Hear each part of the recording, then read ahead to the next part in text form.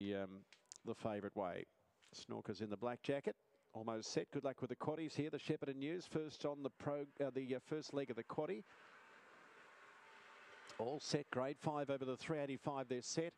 And away they go. And Crime Thriller on the inside away nicely. Hagibis chasing Poppy and Riverside Lily all up there, but they bunch up now. And it's Hagibis who's got the front. Storming around the outside is Raging Cooper, followed by Crime Thriller. Chasing Poppy. A break then to Kayla's crew with Smirky a long way back in the field with Riverside Lily and Snorkers. But in the straight, it's Raging Cooper. Draws away, beats Hagibis. Third close, chasing Poppy or Crime Thriller from Kayla's crew. And further back then to Snorkers. And towards the end, Smirky and Riverside Lily.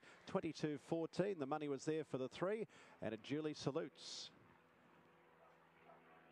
Three, six, and a camera. Raging Cooper beats Hagibis, and then we've had uh, quite a few tight goes for minor medals here. Another one, but you suspect maybe two chasing Poppy on the evidence there, and it does get third. So three, six, two, fourth in one.